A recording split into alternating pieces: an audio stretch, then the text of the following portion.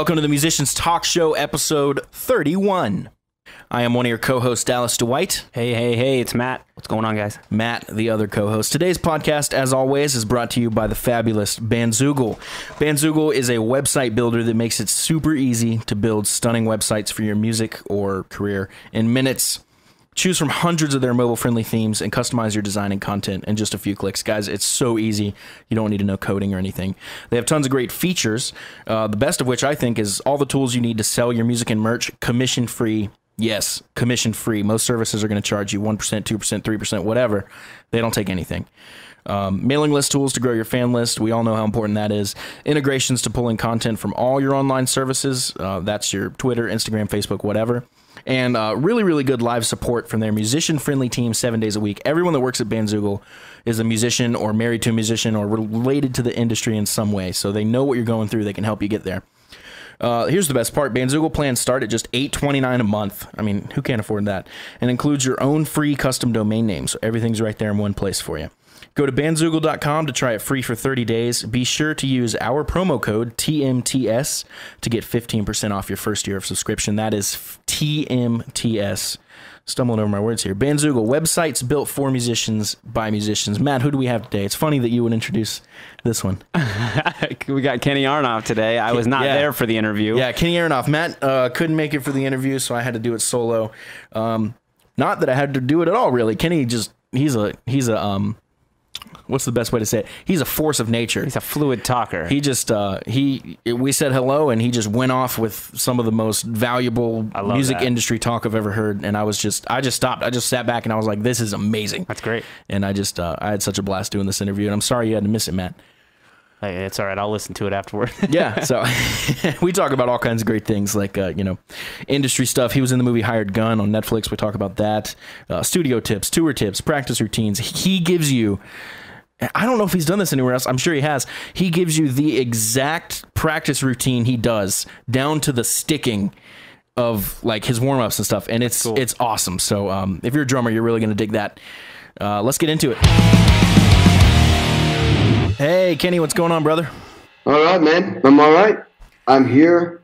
How you doing? I'm doing great. Thanks for asking. What are you doing out here on the East Coast? Well, it's my mom's 92nd birthday on Saturday, and I'm Ooh. Such a workaholic. I literally have not seen her all year. I miss I miss Christmas. I miss you know all the holidays.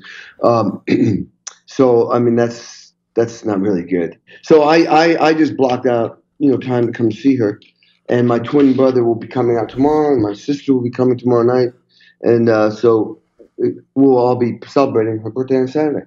That is I go- awesome. Congrats uh, to her for making Oh, it to no. 92.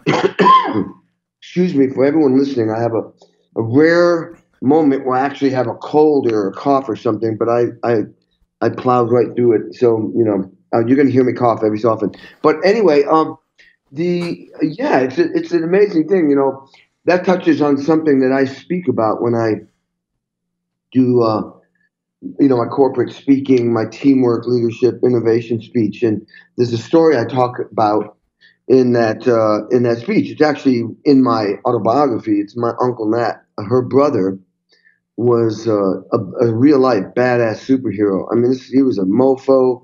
This guy was tough. Uh, you know, he was a Golden Gloves boxer, a fighter pilot in the Navy.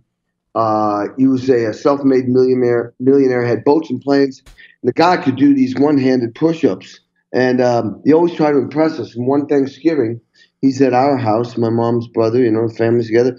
He's in my room. He's doing these one-handed push-ups, smoking a cigar and laughing at me as I walk in, trying to impress him. And he goes, "Hey, kid," as he's doing it, you know what the most important thing in life is?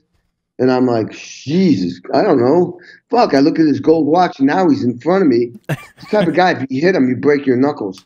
And uh, and um, he said, "No, stupid, it's not money." I said, so I thought he, you know, he was rich.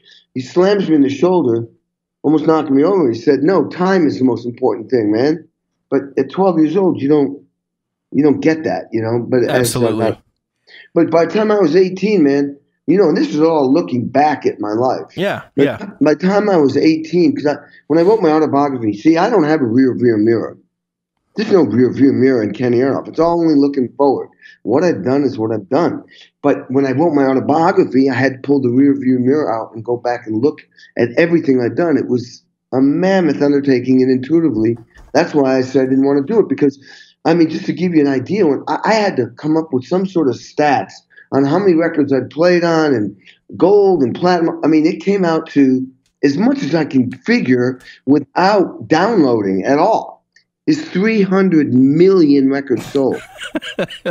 I mean, I'm on three, but see, I'm on three records that sold over 40 million each. Two Celine Dion Yeah. records and a Meatloaf record, and then Ricky Martin 20 mil and Bon Jovi, and I mean, just it's pretty easy to add it up fast. And then you know Mellencamp, of course, but then you know 1,300 gold, platinum, diamond records. Now, a diamond record, for those who are- who don't know what that is, that's when you sell 10 million It's you know, insane. it, it's it's one million for a gold. Uh, no, five hundred in the USA. It's five hundred for gold. right. Uh, pla- A million for platinum, is a yep. million, Yep. And then, but and then sixty nominated or one Grammy songs. I, that was the hardest. I have no idea. I could be on a lot more, but um, and you know, back then when you were number one, it wasn't like some of these charts where you got like, you know, three thousand people listening.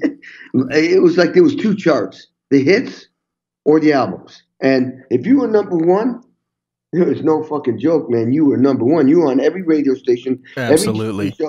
So when I say number one, the top 100, that's not on hillbilly whatever charts. This is like the big. This you're competing with Michael Jackson and Mhm. Bon Jovi or whoever you know the greatest thing is at that time. But anyway, so uh, back to my mom. I told my mom, you know, I honor her uh, brother, Uncle Nat, in my speeches. And uh, she says, "Let me tell you something about time." She says, "Kenny, I'm dying. I've got I've got a heart disease. I've got asthma. I'm falling apart. But man, I just want to live so much. I've got courses I'm taking at college. I got novels I want to read. I want to see the Boston Symphony Orchestra in the summer next summer and the ballet. And I mean, it's just." I want to watch you and your brother and your, your sister. You know, she's loving where my career is going in all kinds of directions now. She she wants to live so that she can. She loves life. And Yeah. here's a, she almost died this year because you know she got uh, you know the pneumonia. I mean, twenty year olds died from pneumonia. She got pneumonia and has asthma and a heart disease, and she survived it. Man, that's a tough lady. It's great, man. She says to me, "Well, I got it from you." I said, "I don't." I don't think so. Yeah. I, I I got it from you. Absolutely. Yeah, I love that. I love the idea that that time is the only non-renewable resource we have. We can always get more money, we can always get more this Right. and that. We can never get more time. Once you spend it, it's gone. So you have to actively Yeah. and consciously decide how you're going to spend that time. Absolutely. You know, you know, when I look back in my book, I was when I was 18 years old, graduated high school. You know, most people, it's a big deal to get through high school. You party your ass off, then you go to college if you if you do that. Well, I didn't. I started practicing eight hours a day, seven days a week because I was scared shitless because there was no school of rock back then. Yeah. So I was going to. I, I was just good enough to get into in uh, University of Massachusetts, which was a you know. it's- So for those who don't know, that that means you're studying you know, the primary per- uh, percussion timpani, which is all about tuning and technique, and then there's marimba, and then there's uh, the mallets, which is a whole different thing, and you're reading violin music and flute music to understand, you know, you're doing scales and, and arpeggios and all this technique to be a, a great musician. Then you do snare drum, then multiple percussion, but then you also do three years of music history, music uh, theory, and music. Um, literature. And then you're taking all your regular courses that any other kid takes. Yep. like you know english math history sciences. And in one year i switched to, it, it's a long story. I got in eventually i was i was practicing eight hours a day seven days a week because i knew i sucked. I knew i wasn't as good as the kids that were practicing when they were eight years old on those instruments. I was playing in a rock band when i was 11 i saw the beatles on tv so i, I couldn't get in the beatles my mom wouldn't call them up, so I uh, started my own band, and I played Beatles music, and we just you know self-taught, and then you kind of get a little bit of lessons from the band teacher, in high in uh, grade school, but I didn't want to be part of band. I was in rock bands. Why would I want to play with squeaky clarinets when I was playing, you know, Zeppelin and the, the and all this cool stuff in in bars or wherever we played, high school dances, and um, so this ties into so I was afraid to fail, failure to me is like dying. And I came up with a line that's going to be it might be the opening line of my new book that I'm should be editing right now. It's called Are You Living Your Life Loud Are You Dying on the Vine? Because most people are dying on the vine. If you do nothing, you will get nothing. This, you know, I wasn't born successful. All these stats I just mentioned, you know, about me, I want to be clear, man. I got my ass kicked. I mean, I went through whiplash a whole bunch of times. And yeah. All the best advice I can tell people with your time is to just never give up. If you give up, then I come by and take what you're waiting for. If somebody, if the shit's there for me to grab, I'm going to take it. Not maliciously. I'm just going after something. Right. You, you, you have to be determined. You have to be determined to go after what you want. And there is no excuses. Forget the excuses. We got tons of them. And this now I'm getting into the heavy shit. I mean, look at fear, being overwhelmed, insecure, uh, shyness, uh, uh, losing, failure, in, insecurity, all those things. Man, that's like breathing air, man. That's just normal shit. That's what we all have to go through. You don't think I wake up at five in the morning going, oh my God, what am I doing? Caffeine is down, serotonin, dopamine levels are down, and you're feeling like, holy shit, I've done too much. Now, what I do is I say, I calm myself down. I go, Kenny, I do 10 shots. No, joking.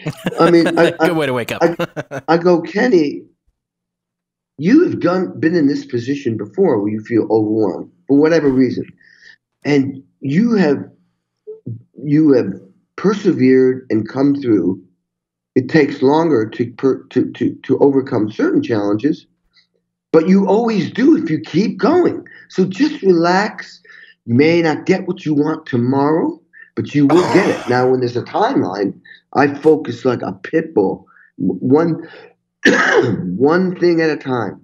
Like, dude, in the last three weeks, I spoke for Marathon Petroleum in Ohio. Then I spoke at, uh, then I went the next day and played with Jerry Lee Lewis. Totally different thing in, Yeah. in Florida. Then I come home and I play with Fogerty. Then I do a session with, no, I came home and went into the studio with Brian Wilson from the Beach Boys with, you know, badass, best musicians in LA. Then I did a Fogerty thing. Then I went and spoke at Sci Week up in Iowa with 20 other speakers. So, you know, and I'm I'm revamping my speeches, trying to memorize it. And then I had to go. I'd said I would do a clinic up at, up at Fresno. So that's a three and a half hour drive. I had somebody drive me. I worked the entire way because I was getting ready for South by Southwest. Because in my speaking, I usually play drums. This was uh, an event where I couldn't play drums, so I created videos and music like the like when I would like demonstrate, you know, uh, serving the song, I would play four number one big hit singles like "Shake Your," uh, like uh, see, uh, uh, what's the first one? Oh, that thing you do, the Tom Hanks movie. That's I Mhm. played that. Open thing. Uh, uh, I'll do anything for love, but I won't do that. By Meatloaf. Uh, uh, Belinda Carlisle's "Heaven on Earth." Uh, Blaze of Glory, Bon Jovi. "Shake Your Bon-Bon" by Ricky Martin. There's one other one in there, but uh, Avril Lavigne song, "My Happy Ending." And the thing is, is that instead of playing, I had to make create videos where it's to make it interesting. My point is, is never stopping while I'm doing all this stuff. And uh, meanwhile, I've been I was prepping after South by Southwest. I had to fly to Milwaukee, and I was the musical director for this humongous uh, charity for the kids that are victims. Uh, you know, their parents were uh, either died or, or got injured in the armed services, and this was a you know I had I had two bands I I played with, and you know probably about six different artists. I had to do, deal with that for four months, and as you get closer to it, it amps up, and I got everything goes through me. Who's wearing in ears? Who's doing wedges? What's the lot? What's the channel input uh, uh, list for this band and that band and that artist? Um, what what about gear? I had to, I had to okay every gear contracts.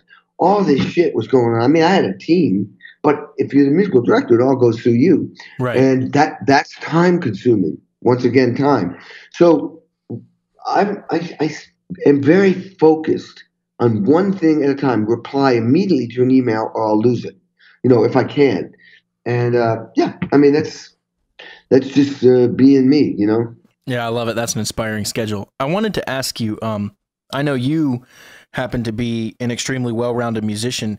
Um, I don't know that necessarily most drummers, especially those starting out, can say the same. So, wh- what would you say to them about the importance of being a well-rounded musician and how they could go about achieving that? Since drums aren't necessarily um, um, a melodic instrument, so how can they get better at kind of speaking the language that everyone else is? Well, the biggest factor here, once again, is time. You cannot be great overnight, but you can be great over many nights. You know what I'm saying? So what makes me, if people are wondering why Kenny gets hired all the time, and he's on TV all the time and on all these records, um, I'm so sorry, I didn't mean to cough, I had to. Um, it, it's it's a, a lot of factors. It's not just how good you play drums, first of all, but a big factor that affected me. I went about went kind of. I start with self-taught. So basically, I was playing from emotion and passion and all the human qualities that are lacking in, let's say, a computer or a cell phone. Human touch, bands playing with each other, laughing at each other, doing things together as teams, groups, you know, tribes, that type of thing.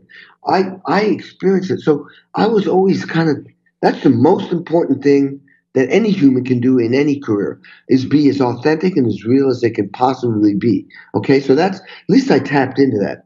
Then I started when I went to college. I, I started. I, I was under the gun and way behind, but I had to learn how to read and uh, uh, you know uh, read and write music, and that took long, long, long, long time. As a matter of fact, that's a big reason why I can handle and multitask so many um, things because I have folders. I got the Jerry Lee Lewis folder, the Fogerty folder, the Bodines folder. I got the Supersonic Blues Machine folder. I'm working on the charts for this. I can write. I write when I do sessions. I write the charts out the night before I come in there, play through it once, and then it's three takes and I'm done. And it's complete. And I pride myself on doing complete takes with no punching in so that I have that authentic right. thing. But my point is, getting gigs like the Kennedy Center Honors or doing the Gregg Allman tribute where you're playing with 20 artists or the Merle Haggard tribute where you're playing with 20 artists, um, Johnny Cash tribute, the, um, I mean, on and on, these big tunes, or the Kennedy Center Honors. If you can't read, you will not be there because they're changing shit left and right. And you, with the Kennedy Center Honors, I'd like charts like you only hear the songs. You don't even know what the songs are until five days before. You don't want to mess up playing Who Who songs in front of the Who, or playing mess up Zeppelin songs in front of Zeppelin. Not to mention the president and all the dignitaries. You do not want to fuck up, or you will not come back. I mean, it's serious business. People ask me if I get if I get nervous. Hell no, I don't get nervous. I get goddamn serious. Mm-hmm. It's not a joke to me. This is serious shit. I mean, act like I'm relaxed, and I am, but I'm t- very aware that something will probably go wrong, and you have to be able to adjust on the dime with 16 cameras on you, and they're fil- recording it. You do not want to be the guy, especially a drummer, messing up. So the reading thing was huge component with making me able to do so many different things and being well rounded. And uh, uh, there's a story where I had to learn, like here's an example. In the heyday of sessions where I was doing, oh, I could be booked, you know, 90 days straight three drum sets in LA, two or three in Nashville. I'd be flying all over the place. Jeez. And I was there was a lot of but there was a lot of money back then. So I just fly. I mean, I went. I did Blaze of Glory with with uh, Jon Bon Jovi. Went right into two days in another studio in LA. Two days with Elton John. Went right into four days with Bob Seger. Then I flew to Athens, Georgia. Did the Indigo Girls. Flew back. Did Bob Seger for two more days and did Willie Nelson. This is nonstop. That's the way it used to be. So the point is, um, being able to read and write. Well, then Melissa Etheridge wanted me to suddenly join her tour, and at the end of this three and a half year long tour, so I got the board tapes. I could only rehearse for three hours, nine hours, because I was booked.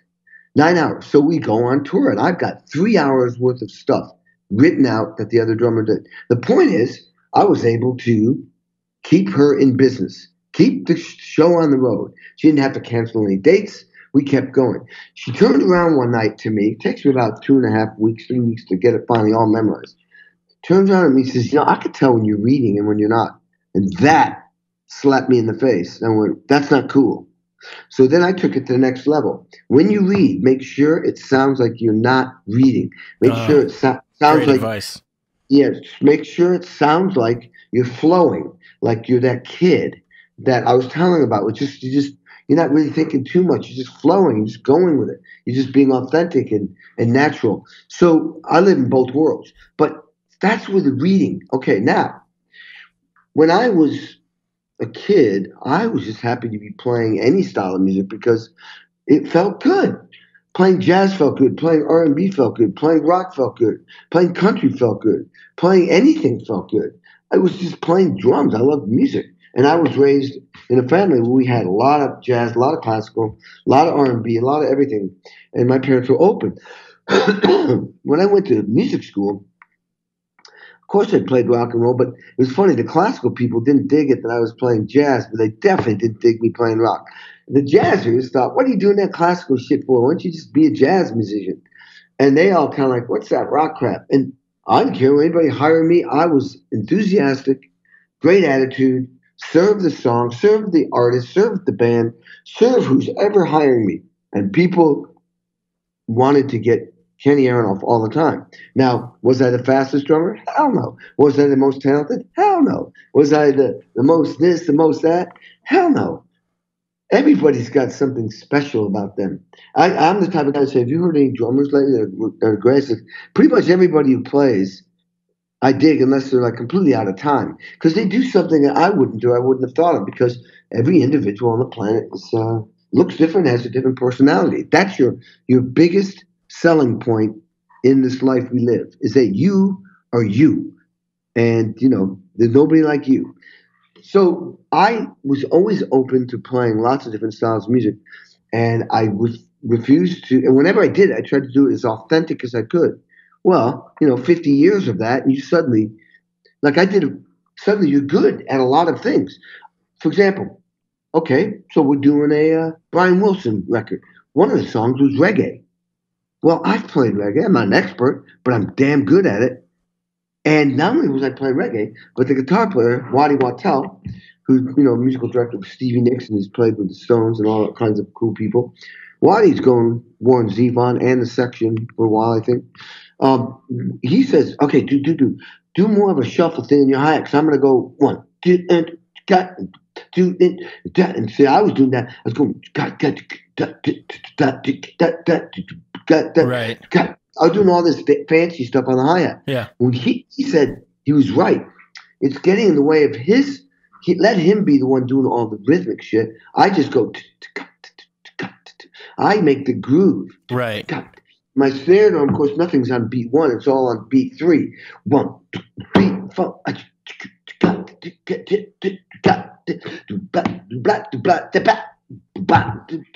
Yeah. Bam on three. And okay, because I played reggae and I love it, I was able to deliver on a session. It wasn't like if you get Kenny, you just get one thing, rock and roll. I mean, I've, I've done orchestral arrangements where I hear songs with I just bring all kinds of weird percussion and build it from there, you know, because of my orchestral thing.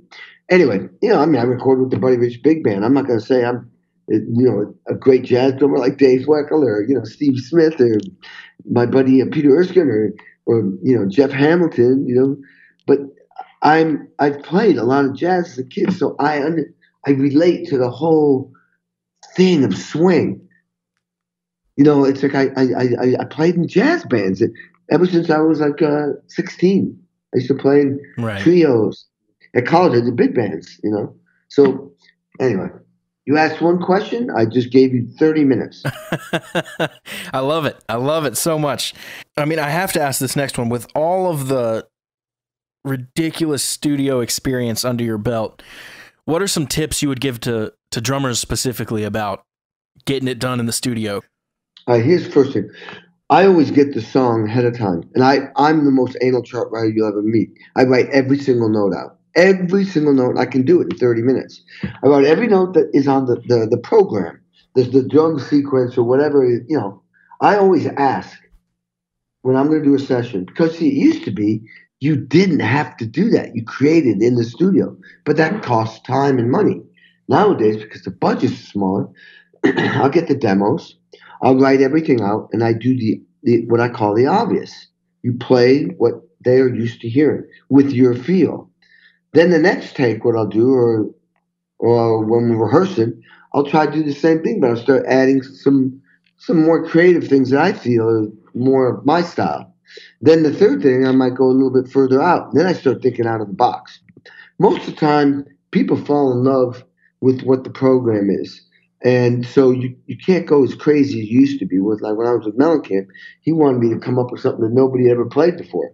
You know, that's rare these days. But know the song, write the chart up before you get in there and practice the grooves. So when you walk in there, you're sharp. If the drummer ain't happening, nothing's happening. It's it's when, even at this point in my career, man. I just did three songs yesterday in an hour and a half for this guy from China. Mm-hmm. I have a studio, I have an engineer, have a very expensive gear. Make sure we get the sounds right. You know, I play through one song once and make sure everything's working right, and then I go after it. And I give the guy three takes on every song. First one is like spot on. Every and like I said, I don't like to punch because I want it to feel like when I'm playing from beginning to end, it creates an attitude of like, holy shit, you better get this right. And you can hear me. You can hear my personality, that edge, that feel, that energy. If you think that, ah, I'll just let them fix it, that's a whole different attitude. That's a whole different feel, don't you think? Absolutely. And, you know, um, so what people should do is become familiar with the music before they go in. If they don't know how to write a chart, then you better spend more time working on it. But be prepared and think ahead of time. Bring uh, options, different snare drums for options. Speak to the producer. Ask the producer, what are you? This song, it sounds like Elton John, or it sounds like Foo Fighters, or it sounds like Royal Blood. I mean, what? Talk to the producer. Let the producer say, you know what? No, no, no, no. I know it sounds like that, but I want it to be more like the Police. And then you go, okay, does he really mean that? Well, then you bring a variety of snare drums and and and ideas to the to the session. Or if you don't, then be ready to be on the spot and be the guy that's kind of might be slowing things down. You know, that's how you prepare. Make sure your equipment's tuned before you even get there. You know, I my my studio is all set up all the time. Or if I do a big session, I have crews that do it. Make sure, and I get there early before everybody because we're going to get a drum sound, you know, drum check. Well, I make sure I'm there early enough because I want to make sure my drums sound great you know, really great. I'll tune everything the way I think it should be or tweak it. All these specific things. And then attitude, man. You better get along with people, man. Otherwise, you know, why would I hire an asshole when I can hire a nice guy? Sure. It's that simple. It's that simple, man. You better. oh my God. We're, we listen. With all my stats, I still serve. If you hire me, I serve you. You're the boss. Of course, you're gonna ask me my opinion, but I'm very clear about the fact that you have a song has a specific groove and beat.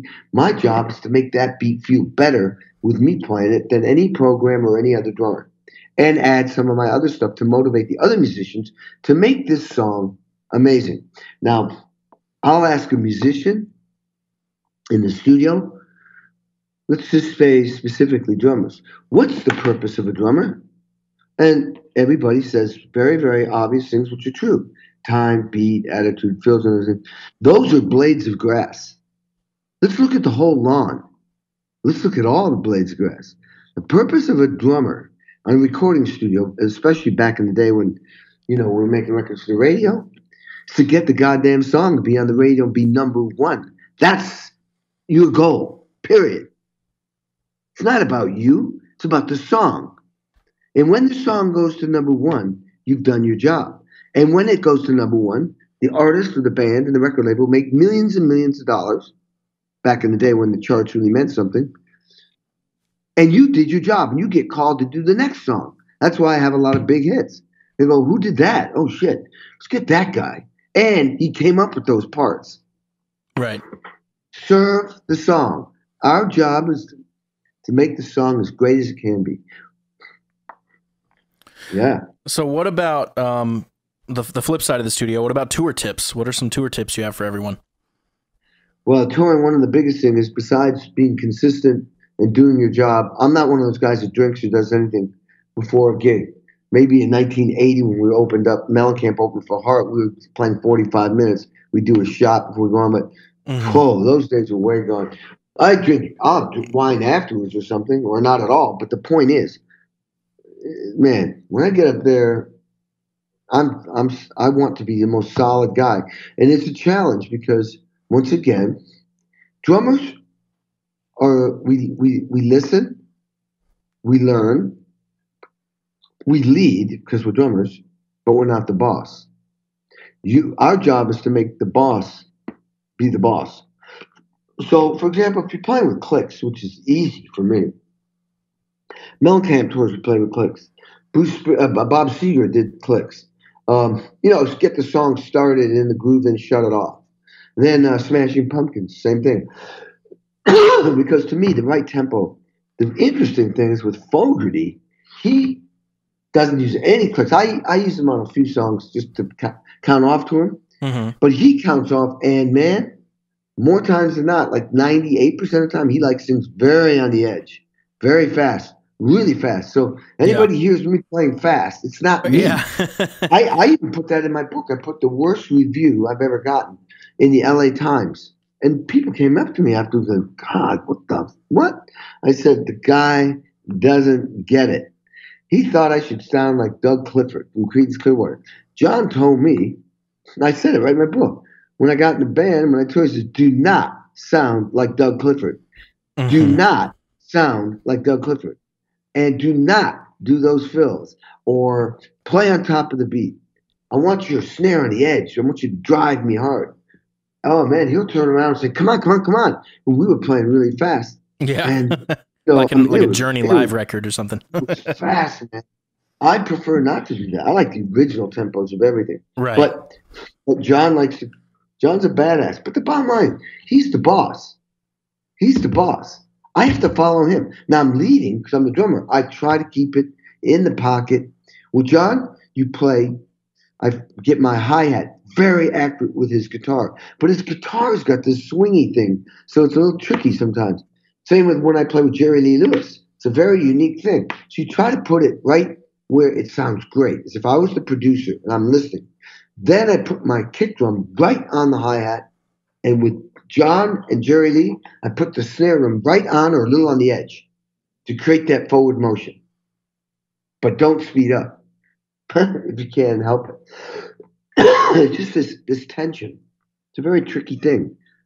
Uh, but anyway, so being on the road, do your job, and the hardest thing sometimes for some people is to be able to get along with all the multiple personalities. You're all stuck on a van together in a bus. Everyone's going through shit. Everybody's got all kinds of mood changes, life situations. You have to be able to, you know, deal with that shit. You just have to. I mean, it's like, uh, I mean, we all, everybody gets pissed off and frustrated and God damn it and this and that. But that's part of it. You want to keep, you want to just be somebody they want around, you know, when you're not on stage. That's what that's what John Mellencamp said a long time ago. Says, Man, I, I don't even like people, he said. He said, I, I want people, you know, that I get along with though. I want people I want to hang with. You know, especially when we're not playing music, which is about 22 hours of the day, or with, with sound check, you know, 20 hours a day.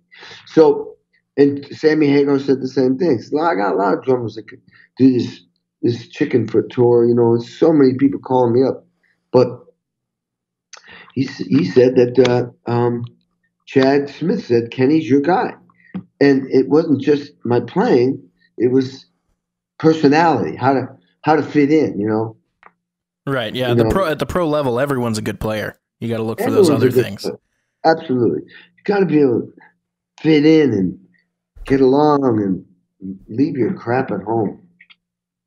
Absolutely. I- just just being a total pro. I mean, that's all it is. Yeah, that's that's one of the biggest tips. And I, I tell people when they're, you know, like on tour or something, and they're it's not they're not it's not their band. You know, they're not a, a, a which is usually the case for a drummer.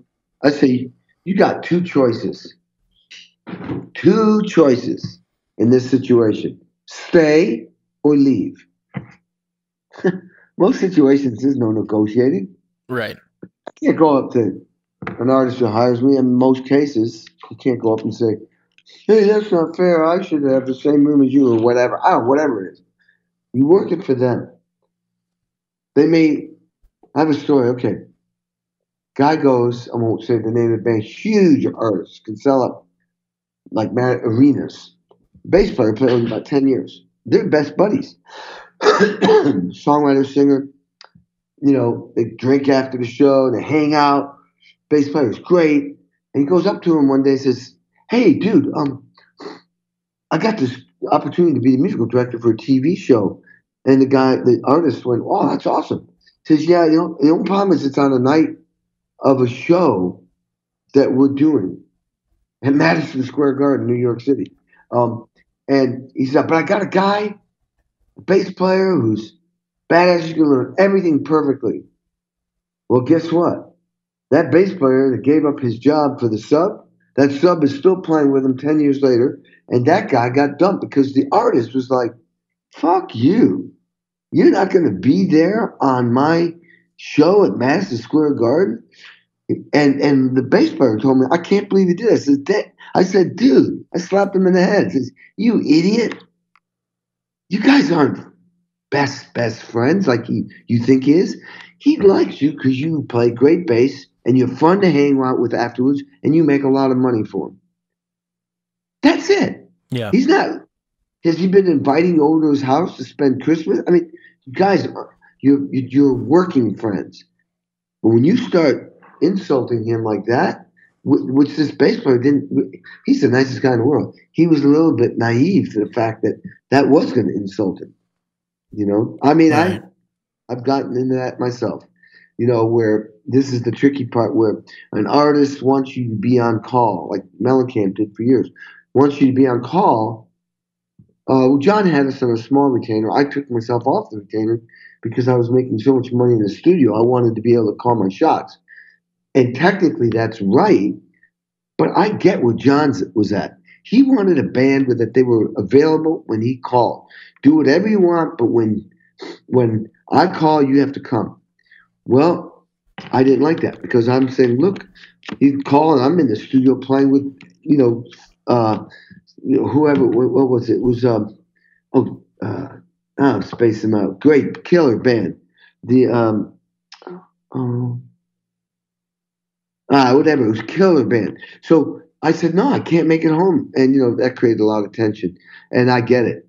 And I, I, I got gone through that a couple times where they want to own you, but you're only working three to four months a year, scattered all over the place. And I've, right. I've tried to say, look, uh, I, I, I cannot afford to pay my bills by what we do. So I have to book other stuff. And most of the time, I can switch stuff. But there was a couple times I couldn't. And I said, look, if you put me on retainer, she said, we don't do that. I went, exactly. You don't do that. So I have to book work. And some things I can't get out of, like with contracts and big speaking engagements where, you know, a corporation spent six months putting it together and they've decided you're the guy. Oh my God. I mean, you can bail. I mean, anything is changeable, but man, you just be ready to be, you know, people. You can't win in a situation like that. Someone's going to be Right. pissed. Someone's going to be pissed. Yeah. So you're just trying to strike that balance between doing what's best for the artist who wants you to be loyal and doing what's best for your own career. Yeah, exactly. And uh, those are some of the quagmires that you get into. Yeah, that's Yeah. tough. What about um, health and fitness? Well, healthy life is a wealthy life. If you're not healthy, you know, which I'm not right now. um, this last month, I haven't been able to work out nearly like I usually do. And so what I do is I adjust my diet to make sure I'm eating lean, so I keep my, uh, you know, muscular and uh, low uh, fat content down. Um, I'm I'm not happy where I am right now. I just need all I need is a couple weeks of cardio and and weight training the way I like to do it, and I may even get a a, a, a coach to do some uh, boxing and uh, just mix it up. I, I had a trainer for 14 years, different trainers, and they just come up with new things, techniques, and stuff. And uh, I, I think it's important. I have eight steps to being healthy. One, lifting weights, which keeps your hormone levels up. Our hormone levels change real young. It shit changes fast. Guys' testosterone peaks 17, 18 or something, 19. Then it starts going down. Crazy. And then um, DHEA levels, you know, all these things start changing. Yeah. So when you lift weights, keep, brings your hormone, keeps your hormone levels up and young. Well, those hormone levels beat, fight off cancer, diabetes, and and uh, uh, cancer, diabetes, and heart disease. Uh, so to start with, the second thing I, I, I think is important, besides being muscular, it's good for that. The other thing is cardio. Really important to exercise the most important muscle in the body, which is the heart. It's the only thing you can do. Playing drums is great, but I think cardio, the right type of training on cardio, brings it to a whole nother level. So I'll do that. I'm going to do that tomorrow, even though I'm cold, sick. I'm going to try to get a killer night's sleep if I can. What happens with me, I'm such an intense mofo. When I get sick, my body starts to fight. It speeds up. It gets aggressive. It starts fighting with my own. I'm like, dude, just relax. No, no, no. My body's going, those germs are trying to get us. We're going to kick their ass. Now, meanwhile, I'm stuck there laying in bed with my body flu feeling and I'm speedy and oh man, it's horrible. Anyway, but I'm not I'm not normal. So, um, okay, the third thing is uh, stretching. So you want strength and flexibility. Uh, stretching, you know, with anything yoga, anything to create flexibility. So you strengthen the muscles, you stretch. Fourth thing is probably the most important thing, or very very important, is uh, diet. It's what you don't eat is more important. Like for me in the breakfast this morning, I was on the run, so I had to take a flight. So I had this today. I decided to use. Co- I have coconut milk with no sugar. I have, uh, you know, go to Trader Joe's or Whole Foods or even you know, rock, you know, regular grocery store. Then I have a scoop of vegan protein powder. I fluctuate between vegan and whey protein. Then I had a scoop of super green food um, called Nano Greens, one of the best they make out there. Then I have a scoop, uh, a whole cup of berries, blueberries, because they're antioxidant and antibody builders.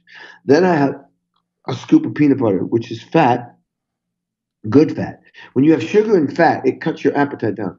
Ta- take that with the number five thing, which is supplements, and then I, I answer that with some uh, co- uh, coffee, espresso. You know, and um, man, that is rocking.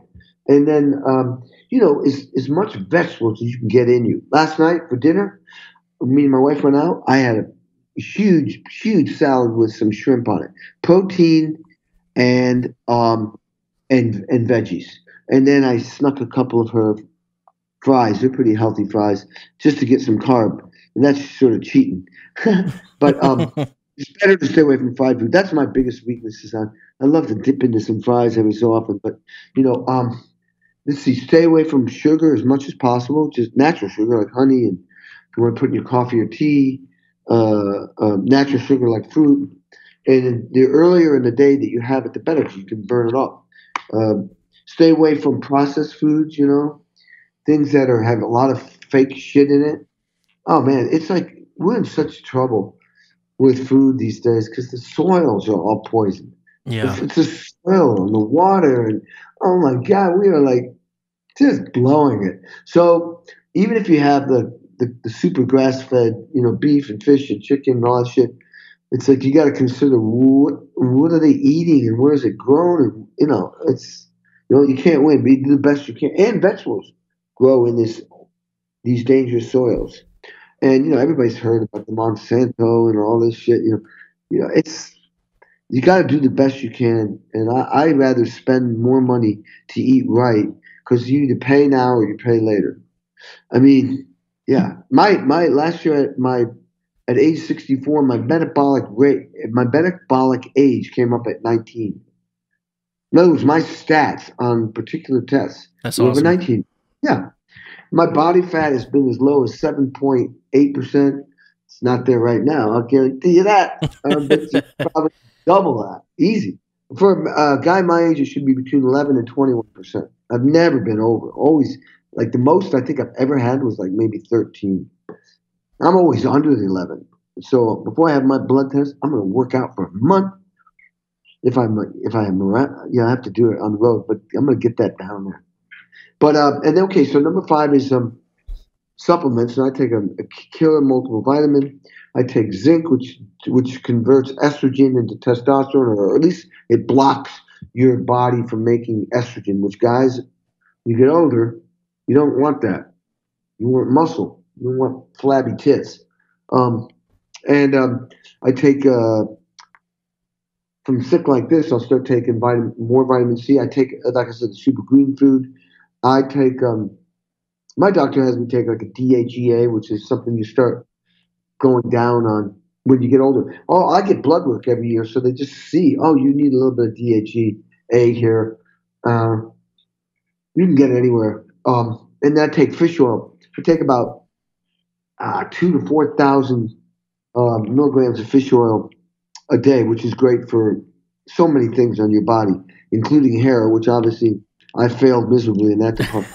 well, I should say, I don't have hair on my head, but I got it on my eyeballs and tongue. You know, no, just joking. Goes everywhere I don't want to go, but no. Anyway, I'm just joking. Um, supplements are really important, and and I t- and I, and I take uh, the multiple I take. My doctor um, created for people like me that are super super workaholics. So we have a lot more B complexes, lot more things that will keep you healthy and uh, keep you going. Um, then um, that's uh, five. Number six, or no, number six is water. Water is the most important nutrient you can have in your body. Every organ in your body needs water. And you should drink half your body weight in ounces. So if you weigh 200 pounds, you should have 100 ounces of water a day. I don't drink enough, but that's a real important one. You could die in three days without water, but you could live 40 days without food. Um, and then the next thing is uh, sleep. Seven hours is the magic. Some people say eight. It's where you repair your brain and your body. I suck at sleep, but I, I try to, like tonight, if I wake up after three and a half hours, I'll read a little bit, go back to sleep. I try to add it up to seven, uh, or the best I can, or eight. Right. And then the third thing, the worst thing for you, or one of the worst things for you, is stress. The way you get rid of stress is to meditate. Stress will, you know, when someone says something to you and all of a sudden you feel ill and you feel weak, isn't that amazing how words can do things like that? Well, all of a sudden you're, you're like hit with stress. You got to meditate, and breathe, and chill down, get out of that because it's not healthy. Absolutely. Yeah. So, what does your what does your meditation look like? You, you know, I don't have any particular program. I mean, I was younger. I did TM. I still remember that mantra, and I was a Buddhist for a while, so I know that mantra. I'll say one of those two, and just you know, think, uh, you know, just try to slow down, which takes me about a half hour. Now, actually, I do. I usually just do twenty minutes. You can. What you can do is go online. They have these great, so much stuff online now. You can just get a 10, 15, 20 minute uh, meditation thing on YouTube where you, somebody talks you through it. It's phenomenal. Right. Yeah, that's a great tip. And I'm yeah. and, and that helps you on the road too, right? All of this stuff. Yeah, well, I, I, try to carry it with me all the time. You know, it's a, it's a at least I think about it every day. That's the point. Is it's in my mind. What am I eating? Like, what did I eat wrong today? Let's see. I had uh, on the plane. I did have a small. supposed to be a healthy cookie. They weren't healthy. Ah, so I broke. That was my big one, big bad thing. And then they had some sort of they had these snacks, and I had some health bars, but you can't just eat health bars. I needed some carbs, so I had a little bit of these little crackers, but they probably had eight billion chemicals in it. That's not good, you know. Right. And, it, and when you got anything that's got a million ingredients in it, oh yeah, yeah, stay away from it. Especially if it's all that, you know, scientific language. You yeah. should say tomato water. right. Yeah. salt. Tomato water, salt. You know, not like. Absolutely. Yep. You know. So, what do you think about musicians needing to pick up and move to a bigger city. Do you think that's necessary? Do you think that's not necessary with the internet? Um, what do you What are your thoughts? Well, it depends what you want, what your goal is. If you want to get be seen, really be seen, and really go the full distance, you move to the you know Nashville or L.A. and you do the internet. You do it all.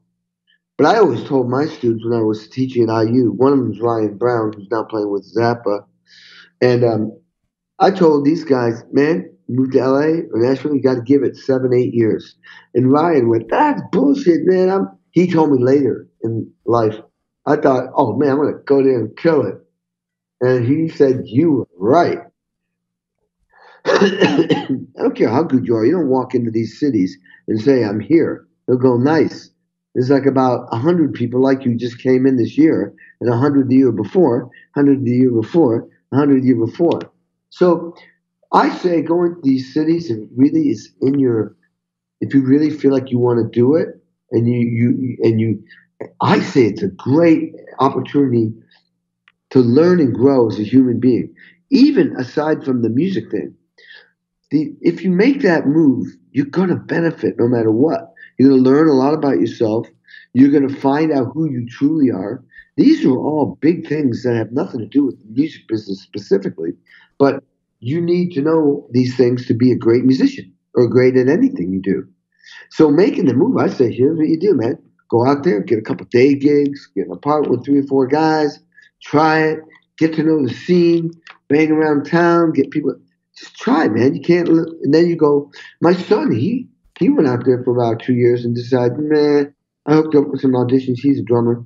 he said, I, I'm just not, you know, I'm not you. I don't want to schlep my drums around.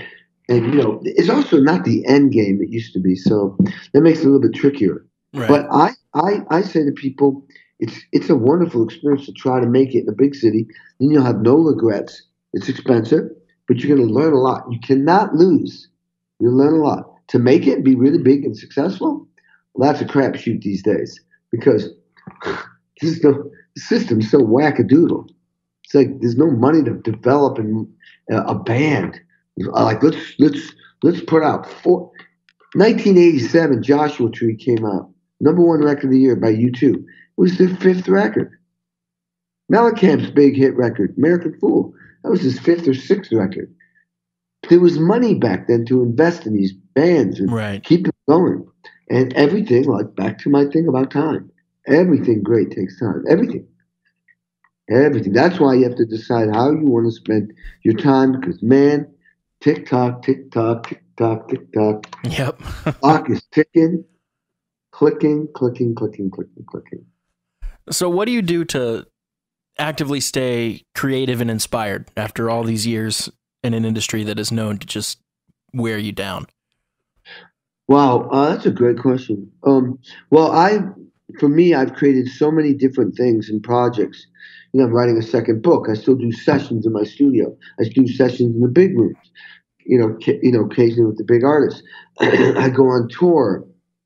I still love playing live. Um, um, so I'm inspired every day by just being alive.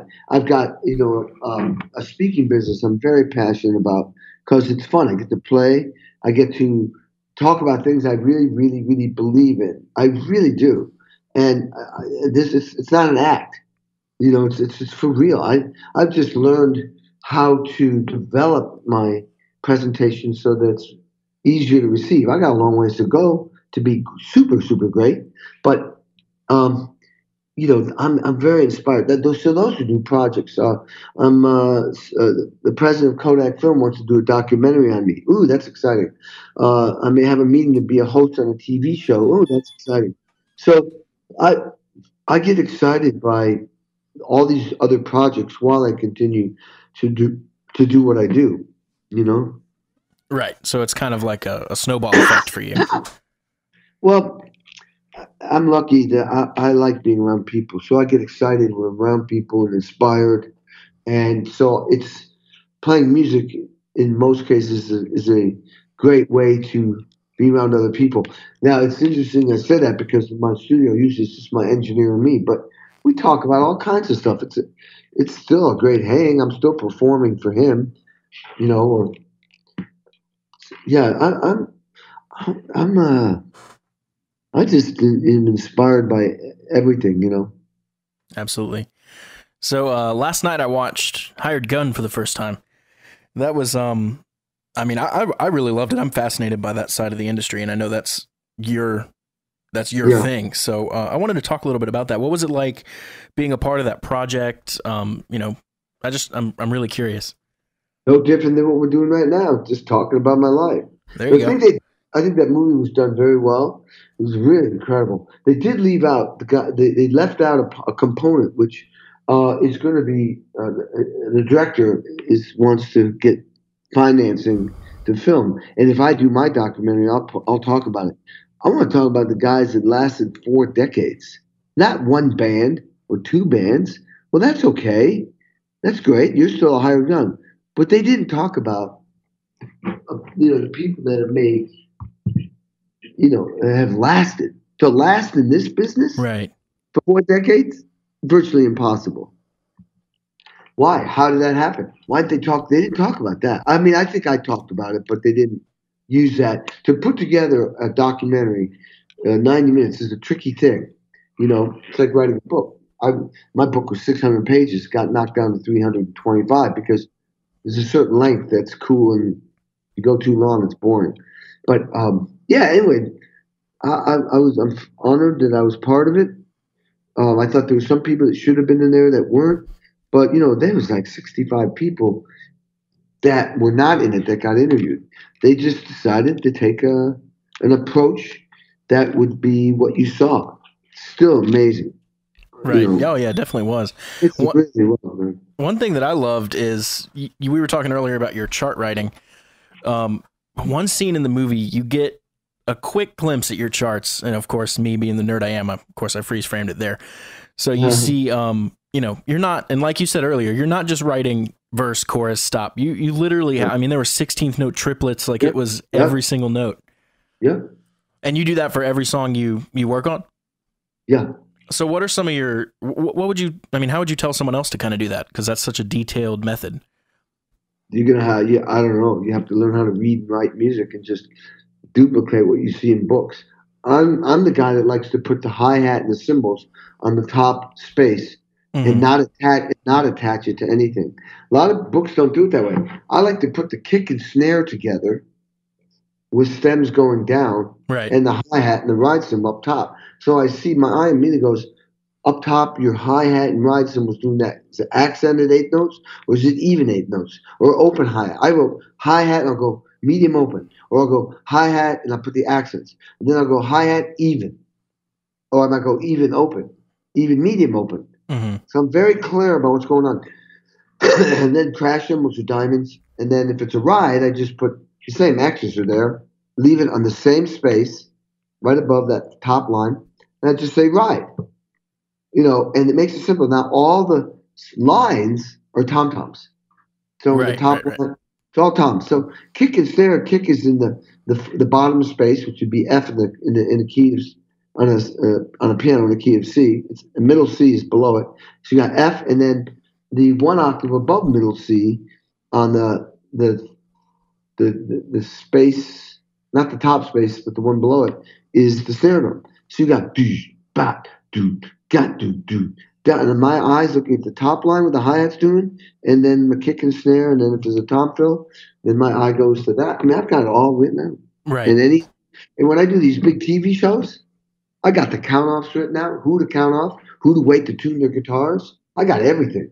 I could look at a song i couldn't tell you what the fuck is coming next because i just rehearsed with six artists today. Right. and the show tonight i'm like what? Oh Yeah. what was that i don't have time Yeah. At that level, Yeah. you have to have charts because no human being can keep all that straight with that little time. Yeah, and, and and you know you don't want to mess up a TV show. Absolutely. Yeah. When the stakes are high, you got to get it done. Yep. So, what Yeah. do you, what do your practice routines look like after all these years? I have a, a functional practice routine which I'm going to do tonight before I go to bed. Uh, and it's basically a 20 to 30 minute routine. It's all whenever I'm doing stuff with my hands. It's, it's,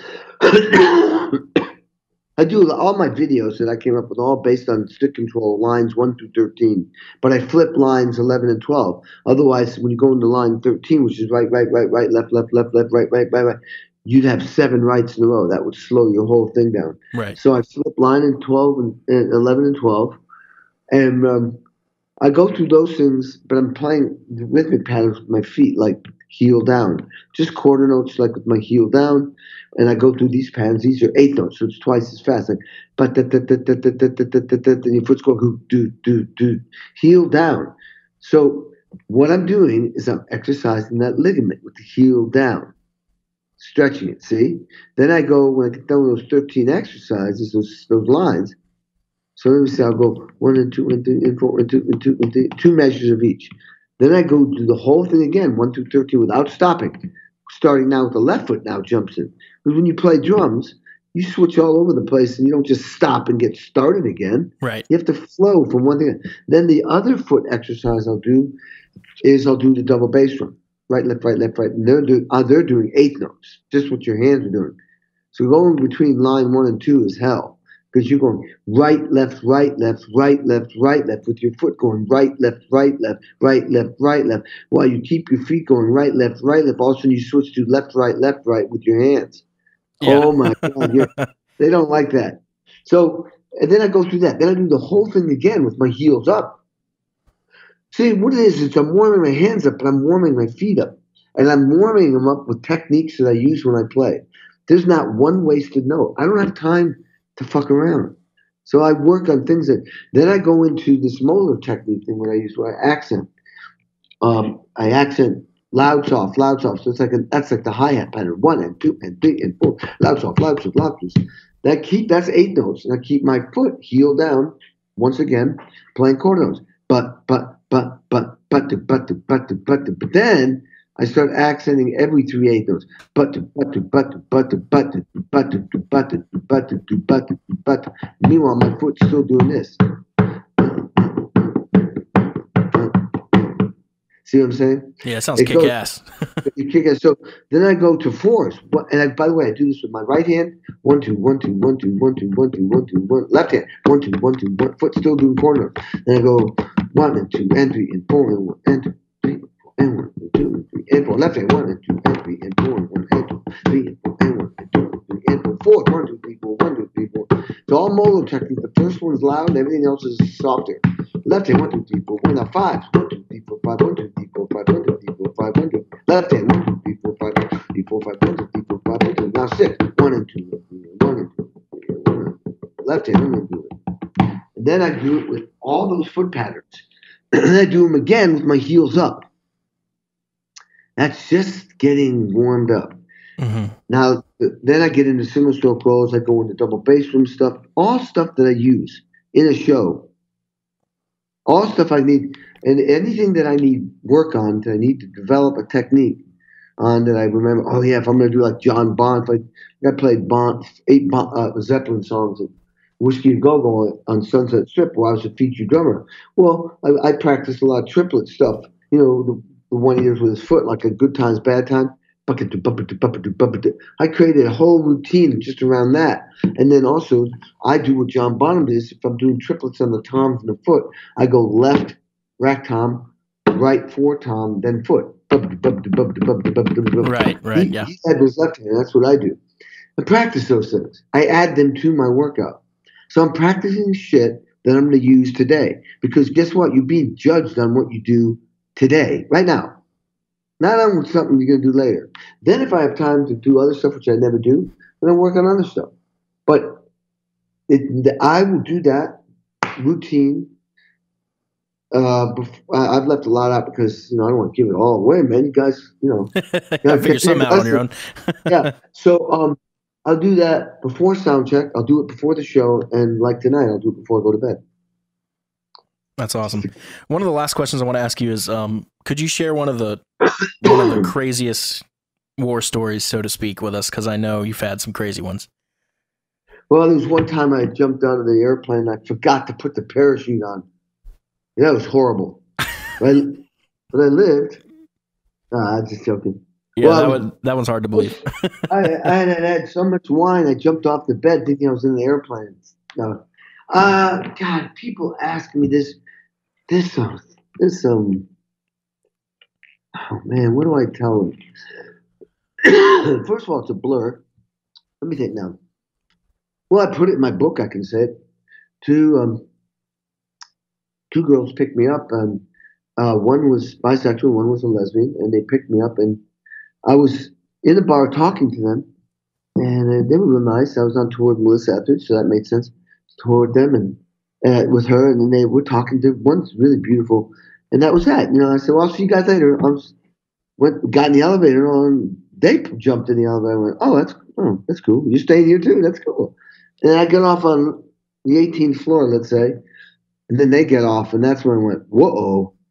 This is getting a little bit too coincidental. walking, down, walking down the hall, they're behind me and they're kind of giggling and stuff. I get to my room, I say, "Hey, good night," and they go, "Well, um, hey, can, can we um want to hang out a little bit more?" And I'm like, "Oh my god!" Now you have to remember, I'm a professional at this stuff. I'm an expert, so I know what's going on. I went, uh, yeah, okay, and I let you know they came in and. And then it was like, then some explanation was going on. Well, you know, my girlfriend did you. And it was that kind of thing. And I'm like, I don't know, man, if we should be doing it. And then the next thing you know, we were doing it. It was open. I'll leave the details out, but it was, and then they left. They left, and I'm sitting there going, what the hell just happened? now, that's, that's, is that good enough? Is that a good enough war story? That's a great enough war story. you know, and uh, I, I can't divulge who those people were, but it was cool, man. I mean, you have to realize, you know, and this was a tricky thing in my book, you know, because I, I had a couple divorces and both both women are cool. We were all young, man. I was when I was with Mellencamp, I was 27. We're playing in arenas. I'm 27. The girls, well, then we became big, really big. I was 29. We got girls throwing their bras off, shaking their tits at us, throwing underwear at us. They were out to have a wild time, and we were rock stars. And we acted like rock stars. This wasn't, you know, kind of people don't look at the audience. We were. John Mellencamp engaged in the audience. He was very aggressive, but very sexual too. He would get girls up and dance with them. Back then, he was good looking and hyper. The whole audience was a wild night. Everybody was up on their feet. Girls were on guys' necks and they were drinking bar beer. And it was they knew all the lyrics to our songs. We were on MTV, we were on Saturday Night Live, we were on, you know, every TV show and everything. It was like we were happening, man. And I was a part of it. The beginning, what really, I mean, meaning where it really took off. So, man, we had, I mean, we had some fun. You can only imagine, and everybody on the stage and in the audience were equal participants. We all, it was just fun. It's just a great time. And then, hate to bring it, be a downer, but I'll never forget. I know exactly where I was sitting on the tour bus, where we were on a private jet, and we're reading the Penthouse article or the whatever one of those uh, magazines are that talked about AIDS. And the way they talked about it, it was frightening. It sounded like we all got it.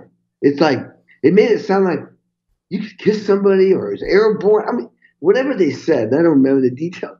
It was like, oh my God, we're gonna die. We're dead. It's too late. I was the first one to get a blood test, so I go get my blood test, and I'm really, I'm nervous. I am actually nervous. I had to wait two weeks. Talk about time. oh, jeez. You're waiting two weeks. That's what- torture. and the nurse I call says, Well, Mr. Aronoff, you're negative. Now, when someone says something like negative, don't you think that means you're in trouble? Right. I got negative. Yeah. Fuck! I started screaming. I'm like, oh my God. I'm almost crying. Like, I got it. I got it. I told you. Oh my God. I'm going to call the guys up. And she's screaming through the phone. No, no, no. Kenny, Kenny, negative means you do not have it. Negative with the disease. Holy shit. So I went back to, to um, you know, when we had next rehearsal we had next day, I went back. I told the same story. Scared the hell out of them. Said, what'd she say? Says, you're negative. They went, oh, shit. Well, I got, and they, I'm not, now I'm, I'm calming them down. No, no, no, no, no, no. We don't have it. Yeah. That's not a fun roller coaster to ride. Oh man, was, God damn, yeah, yeah. So uh, what I want to do now, Kenny, because we're we're at the end of the hour, I want to um, I'm gonna edit this part out that I'm saying right now, but I'd I'd like to plug back in and say the formal goodbye that everyone will hear, and then if you're cool for another like minute or so, I'd I'd love to ask you um something follow up to the podcast. Yeah. Well, Kenny, thanks so much, man. This has been a blast. Um, so much valuable information for our listeners, and I, I can't thank you enough for being on the show. Well, thanks for having me, man. I love uh, talking on these podcasts. It's great. Yeah, absolutely. And and like I said, so valuable. Where can our listeners find you to uh, kind of follow what you're doing and keep up with everything going on? I try to post on all these four places every day. Uh, my Twitter is Aronoff with a capital A official because someone stole my name. It, it's it's Aronoff and it's capital official O F. How do we spell official? too, too late for that. so it's Aronoff official. My Instagram is Kenny Aronoff. My Facebook is Kenny Aronoff. But man, everybody keeps saying, "Add me, add me." Well, my Facebook filled up eight oh, yeah. years ago. Oh yeah. Oh yeah. I mean, I don't. I don't even have time Yeah. to, to, to get look at who I'd get rid of. You know, Yeah. I don't have time. I, So, du- I dumped I- Facebook a while back. So, but Facebook fan page, and I also have uh, LinkedIn. okay, And, cool. and if you go to my website www.kennyaronoff, and then it links to the the speaking page, which have a lot of videos of me speaking, which is www.kennyaronoff forward slash speaking. But you can get to that page on my normal web, website. You just tap on uh, you know, my speaking thing. And I actually have a studio thing. I haven't updated the songs in so long, but it's uh, Uncommon Studios with an S, L-A. Uncommon Studios, LA.com. Yeah. And, and you, know, got, there's all kinds of ways to contact me. If I don't answer, make your questions short. If the questions are long, I just don't have time. I get 200, 3 emails a day. Yeah. I, I can't do it. I, I'm doing. I got to deal with a lot of stuff. So if you start asking a lot of questions, and I do have a web store. Some people say, "Can you send me a autographed picture?" I, I just don't have time to do that. So I have a web store, and it gets done that way. Absolutely. Well, thank you so much, Kenny, and um, let's talk again soon. Dallas, thanks for having me. It, that was fun. Yeah, no problem. Love to have you back. All right. Okay, buddy. Yeah, anytime. See you, All man. right, bye. Hey guys! First of all, thank you so much for listening. If you could please take a quick moment to subscribe on iTunes and leave a rating and review. Your feedback seriously is really important and it helps us keep the show alive.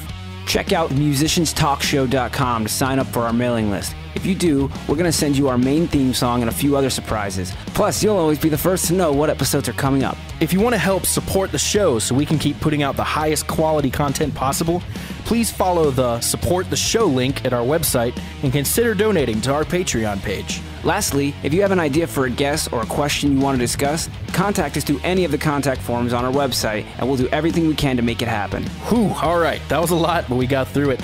Thanks again, guys, and we will see you soon.